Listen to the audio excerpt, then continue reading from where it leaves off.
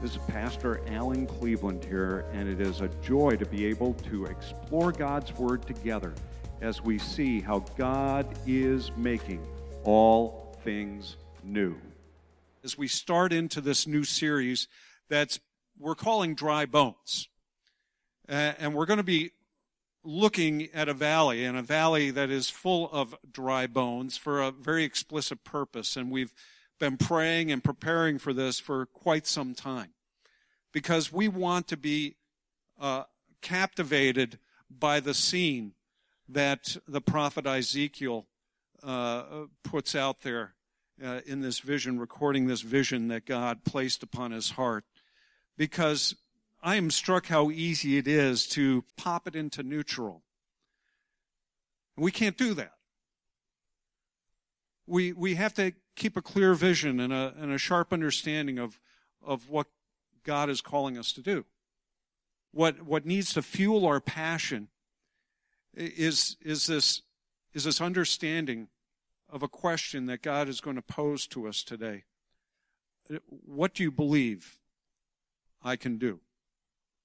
So let's go back to Ezekiel chapter 37, and I'd like to read the first 14 verses of this vision that God gave to the prophet.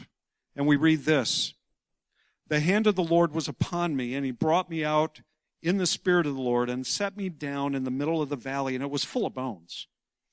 And he led me around among them, and behold, there were very many on the surface of the valley, and behold, they were very dry.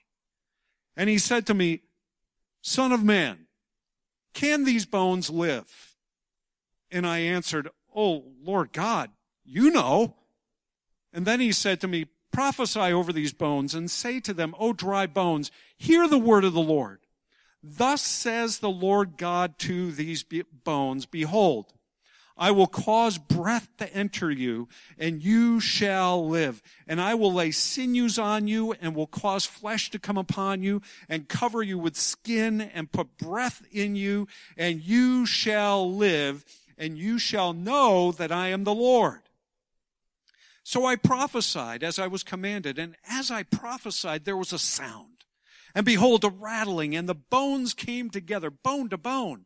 And I looked, and behold, there were sinews on them, and flesh had come upon them, and skin had covered them. But there was no breath in them. Then he said to me, Prophesy to the breath. Prophesy, Son of Man, and say to the breath, Thus says the Lord God, Come from the four winds, O breath, and breathe on those slain that they may live. So I prophesied as he commanded me. And the breath came into them, and they lived and stood on their feet, an exceeding great army. And then he said to me, Son of man, these bones are the whole house of Israel. Behold, they say our bones are dried up, and our hope is lost. We are clean cut off. Therefore prophesy and say to them, Thus says the Lord God, Behold, I will open your graves and raise you from your graves, O my people. And I will bring you into the land of Israel, and you shall know that I am the Lord when I open your graves and raise you up from your graves, O my people. And I will put away my spirit within you, and you shall live, and I shall, and I will place you in your own land then you shall know that I am the Lord. I have spoken and I will do it, declares the Lord. Now, if you've ever engaged with the Old Testament and you flip through the pages, you know, you might recognize some of the accounts in Genesis, Exodus, Leviticus, Numbers, Deuteronomy, the accounts of the Exodus and all of that. And, and, and then you might even, if you flip through, you get into the kings and the history of Israel and you see names like David and Solomon. You might be familiar with that. But then eventually you work your way after the Psalms into these books that are often referred to as the prophetic books. And they're called the prophetic books because it's the prophets who composed them, that wrote them, that recorded God's word to his people. And, and quite honestly, a lot of people lose it right about there because as you read through the prophetic books, there's a lot of woe. There's a lot of sadness. There's a lot of heaviness in it all. And not fully appreciating what's been going on. We, we can easily brush over it and, and, and not really hear what God is actually saying in these books. You see, these, these books were written during a time of desperation, during a time in which the life situation, the people of Israel found themselves, as well, as men like Jeremiah and Daniel and, and Ezekiel, they were all about the same time, these prophets speaking to the people of Israel. They found themselves in a difficult, difficult situation. The situation being that invading armies had come in and either destroyed their cities or captive, uh, took people captive and took them back to the countries from which they came from, the invading armies, that is.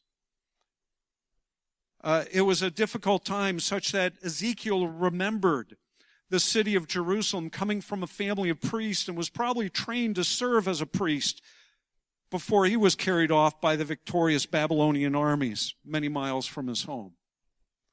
So as you read through the book of Ezekiel, some of it will sound like it's right there in the streets of Jerusalem because, well, probably was written when he was right there in the streets of Jerusalem. But then also, there's a distant sound to it all. And it would be those times in which he'd been moved as an exile, as a refugee. And this chapter we're looking at today is part of that latter part of his experience. In other words, it was part of that time when he is not in his home country. Indeed, he's far away from it. And indeed, he's heard that the city that he, that he loved, that he grew up in, was totally de- devastated by the Babylonian army. And that the temple that he had trained to serve as a priest in had been destroyed by the Babylonians. And so it's with all this news that he's living life. And, and so this vision that he experiences in chapter 37 comes at one of the lowest points in the history of his people and in many ways in his own story because as he's standing there and he's, and he's looking out at the, at this valley filled with bones and, and if we could pick up the emotional nuances, the emotional undertow of the, of the, the Hebrew wording here. It's not just a reporting, yes, I was in a valley of dry bones. He was saying, I was in a valley. And there were bones piled upon bones. There were piles and piles of bones. It was overwhelming scene to, to behold. And the bones had been there for a long time because they were white and sun bleached. And the area was just showing of total devastation and, and death and no hope. You know, frankly, a, a few of us can relate to this experience. Some of us are involved with organizations like World Relief, and we're driving around people who, due to political turmoil or religious persecution, have been cast out of their home. As a matter of fact, we have people here who come uh, from countries where a husband and a son were lost to a knock on the door at night and they've never been seen again. And the home was devastated and people were forced out of their home and into a refugee camp and finally made it here. So for those of you, that's your experience. You can really relate at a at a different level than, than the majority of us can to what, to what Ezekiel is portraying here and his experience and background.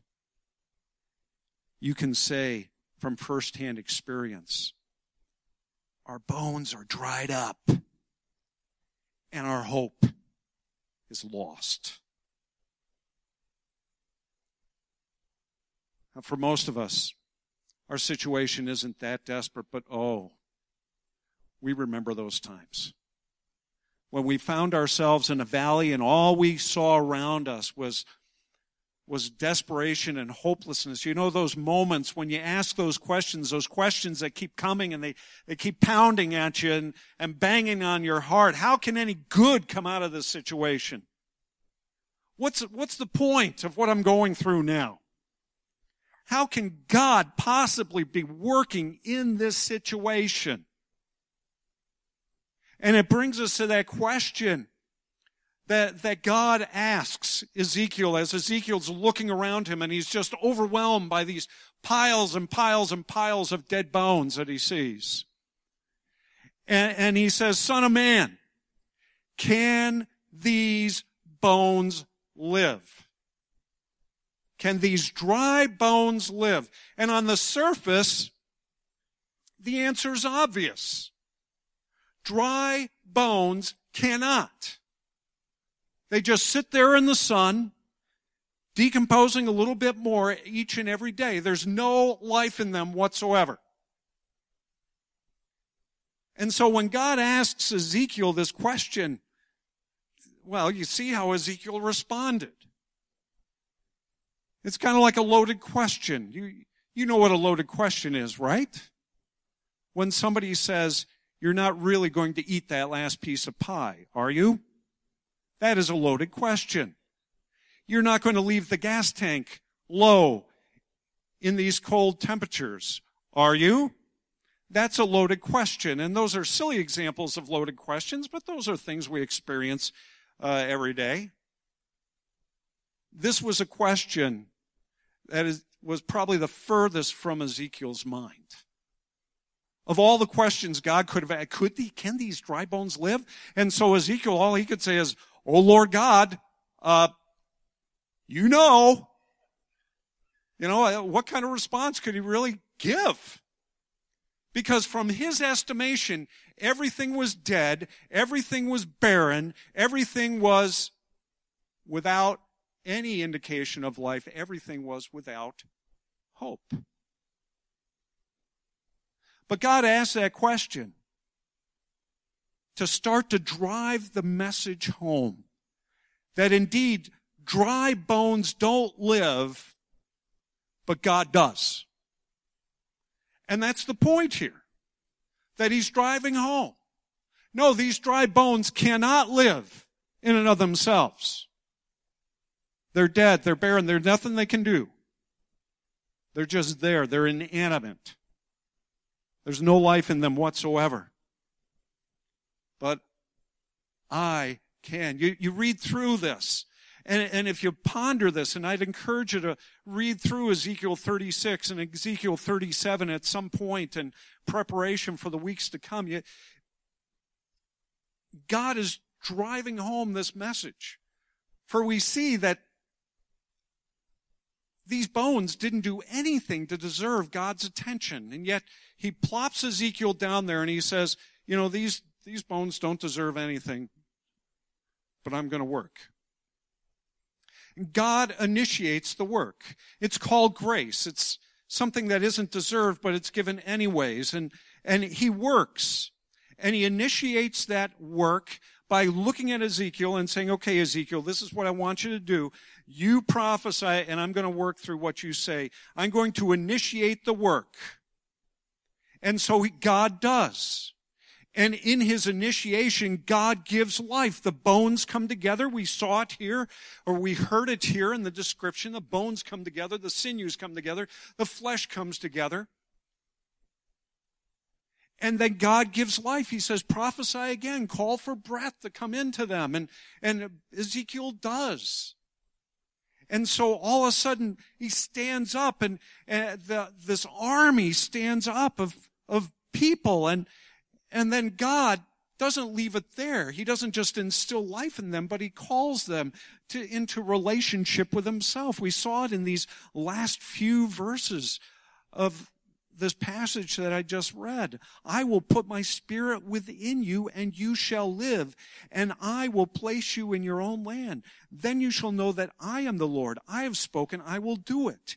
And later on in that same chapter, he's he's driving this point, point home and he says, my dwelling place shall be with them and I will be their God and they shall be my people. Ezekiel, son of man, can dry bones live? What do you believe I can do? And over these next few weeks, we're going to be unpacking this more for, in, in several different ways. You know, God asking that question of you and me, be, stretching us to explore. When He looks at us and He says, what do you believe I can do in your community? What do you believe I can do in your families? Oh, community church. Out on Ryf Road, community church, New City, community church, Winter Haven. What do you believe I can do in your church? Now, the vision that Ezekiel witnessed and, and shared powerfully anticipated that God was the one who, as he promises all the way back in Genesis and all the way through to the book of Revelation, he promises that he is the one who makes all things new. And, and later in this chapter, Ezekiel anticipates and declares that there is one coming who's the focused fulfillment of all the promises of God. And as he looked forward, the apostle Paul also looked back and declared that God's plan and purpose came together in the person of Jesus Christ.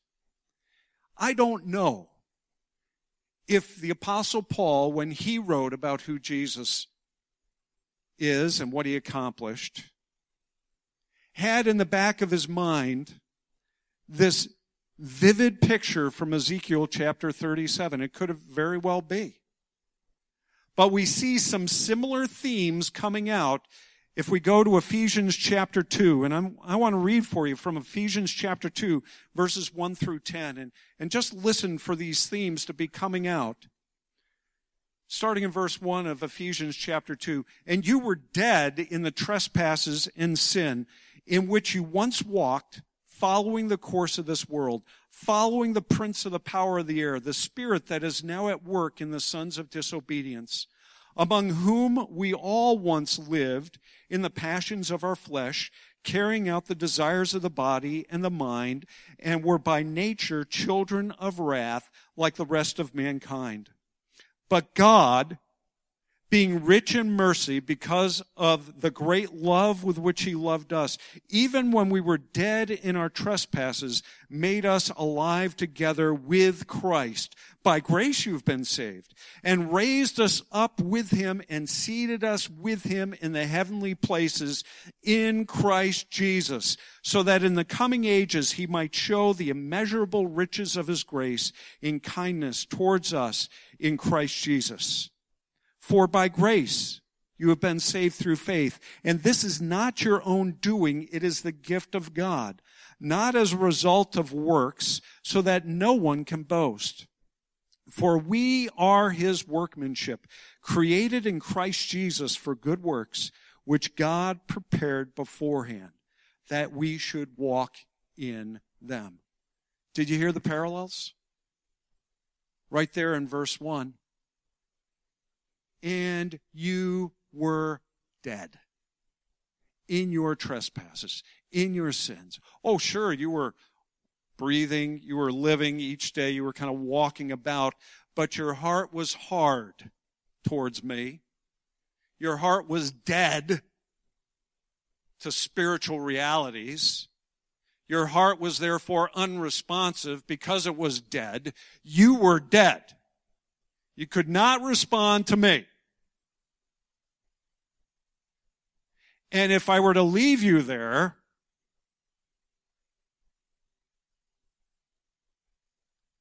but God didn't.